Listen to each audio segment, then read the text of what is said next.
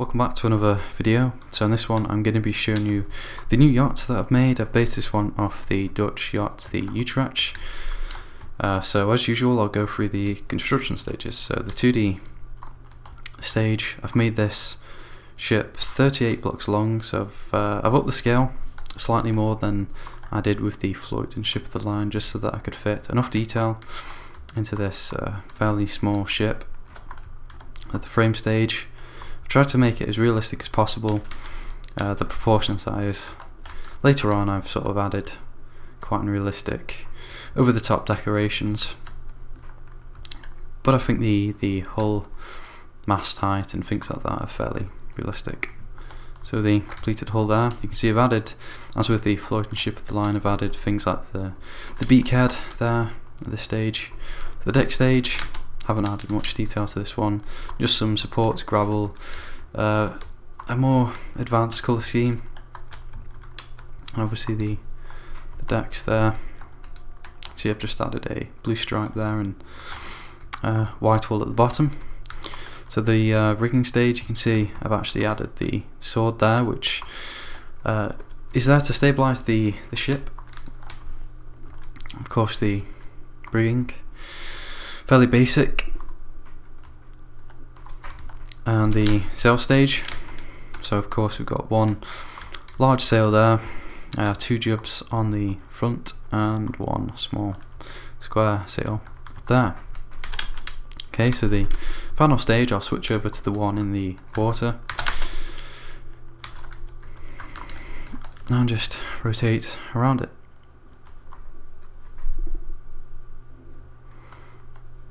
course some Dutch flags as this is a Dutch series and obviously Dutch ship. I've gone with a lighter colour scheme, you can see I've gone for a light blue stripe there and uh, oak and jungle wood planks as the, the main material which is lighter than uh, what you will see on the, the float for example and the ship of the line.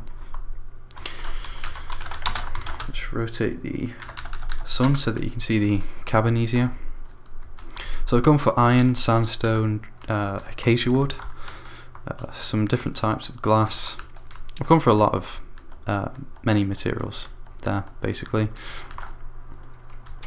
That should be like that. So yeah, I've been as creative as possible as usual with the cabin. It's not realistic in any way.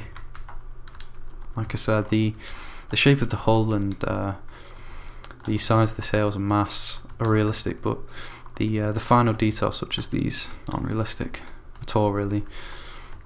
Try and decorate it as much as possible. Turn the sun to the original position.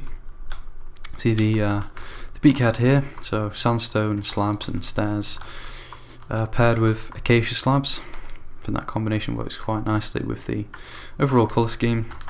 See the anchor here that I've formed with stone bricks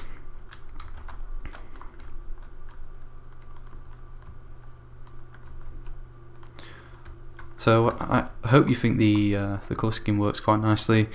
I try to um, differ it to the um, the float and ship of the line. I've tried to make them fairly slim, similar, but uh, give them their own sort of uh, personalised scheme, if that makes sense. So I've tidied the, the rigging up at this stage of sort of smoothing this this rope in particular with the um, the fences. Try to make the flags look as uh, natural as possible. It's a bit difficult for this uh, for this scale.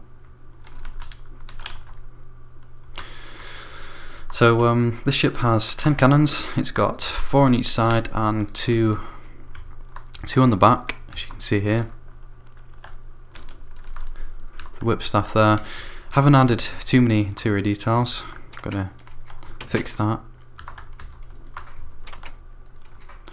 So no details in the, the cabin here, but um, I like how this looks. It looks quite cozy, and obviously you can just about see the the float back there, which is nice.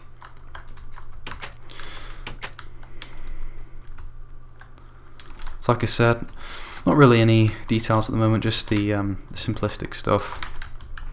I might add uh, some more later on.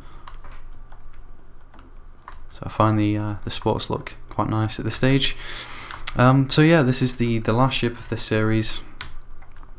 Like I said, I've tried to I've tried to um, make it look quite similar to the Float and Ship of the Line, so it sort of um, fits into the collection. So uh, if you've got any advice or constructive criticism, feel free to leave that in the comments. Obviously added the water effects with the web and the um, half slabs of water. So yeah, tell me what you think of the ship, guys. I'll I'll now leave you with a, um, a slideshow of the the renders that I've made. So as usual, thanks for watching.